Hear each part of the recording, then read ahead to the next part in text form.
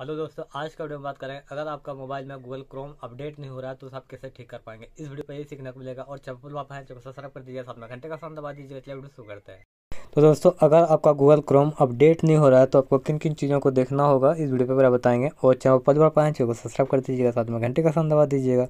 तो देखिए, सबसे पहले बात करते हैं कि अगर आपके पास कोई भी मॉडल जो है, चाहे सैमसंग का रहे ओप्पो रेडमी वीवो जो भी कंपनी का मोबाइल फ़ोन है तो उसमें आप एक चीज़ देखेंगे ध्यान से तो आपको यहाँ पे जैसे सेटिंग का ऐप है तो आप सेटिंग निकाल लेना है।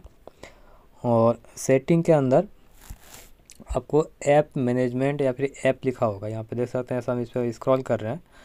तो यहाँ पे देख सकते हैं, हल्का सा स्क्रॉल करेंगे तो यहाँ पे ऐप्स लिखा हुआ है ऐप्स तो आपको भी अपना इस सेटिंग के अंदर आपको ऐप्स निकालना है। और ऐप्स में यहाँ पे टैप कीजिएगा तो आपको यहाँ पे आपका पूरा लिस्ट आ जाएगा, क्योंकि यहाँ पे देखिए मेरा रेडमी नोट टेन प्रो है, इस कारण से यहाँ पे इस तरह आ रहा है।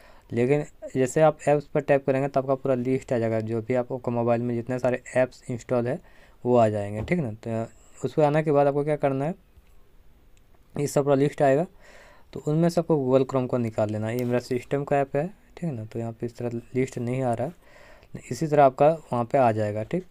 तो आपको यहाँ पे जितने सारे ऐप होगा, जैसे कि यहाँ पे देख सकते हैं, जैसे गूगल क्रोम इनमें जैसे जैसे यहाँ पे देख सकते हैं गूगल का बहुत सारे आता है, जैसे ड्राइव है, आपका क्रोम है फ़ोटोस आता है गूगल का तो इस तरह आपको क्रोम निकाल लेना है क्रोम पे से टैप कीजिएगा।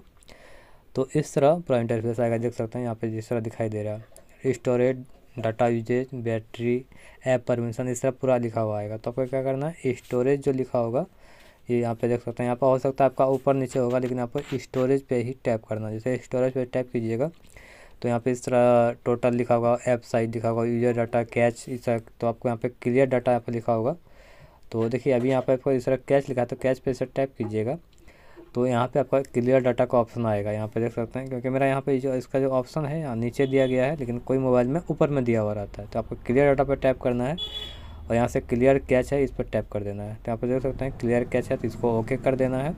तो आपका जो भी यहाँ पर क्लियर कैच है और ये जो ऐप साइज़ है, जितना ही रहेगा, उसका कैच तो पूरा डिलीट कर देना है। डिलीट करने के बाद मान लीजिए अगर उतना हो जाता है, ठीक है, और अगर आप वहाँ से नहीं कर पाते हैं तो डायरेक्ट इस तरह गूगल क्रोम को निकाल लीजिएगा। और गूगल क्रोम को निकालने के बाद यहाँ पे देख सकते हैं, जैसे कि यहाँ पे जो गूगल क्रोम है यहाँ पे यहाँ पे देख सकते हैं अभी हम निकाल लेते हैं। देखिए क्रोम है। क्रोम पे ऐसा टैप उंगली रखेंगे तो यहाँ पे ऐप इन्फो लिखा हुआ आएगा। तो आपको ऐप इन्फो पे टैप कर देना है। यहाँ पे देख सकते हैं, जैसे मैंने फिर से आपको बता दें गूगल क्रोम पे टैप रखते हैं तो ऐप इन्फो आ रहा है, उस पर टैप करेंगे। यहाँ पे देख सकते हैं डाटा स्टोरेज लिखा हुआ आ रहा है और डाटा यूजेज लिखा हुआ है। स्टोरेज पर टैप कर देंगे और यहाँ से क्लियर डाटा जो लिखा हुआ है, इस पर टैप करके जो भी कैच है उसे हम डिलीट कर देंगे। उसके बाद आप जाएँगे अपने गूगल प्ले स्टोर से और वहाँ पे आप जो क्रोम फिर से सर्च कर लेंगे और उसे आप अपडेट पर उसे टैप कर देंगे तो इस बार आपका गूगल क्रोम अपडेट होना शुरू हो जाएगा। और अगर कुछ भी दिक्कत होता है तो आप हमें कमेंट सेक्शन में जाके कमेंट कर सकते हैं। तो दोस्तों, अगर आपके वीडियो पसंद है तो लाइक कीजिएगा चाहे पल पाए सब्सक्राइब कर दीजिएगा, साथ में घंटे का साथ दबा दीजिएगा। फिर मिलते अगले वीडियो में। जाए वंदा मातरम।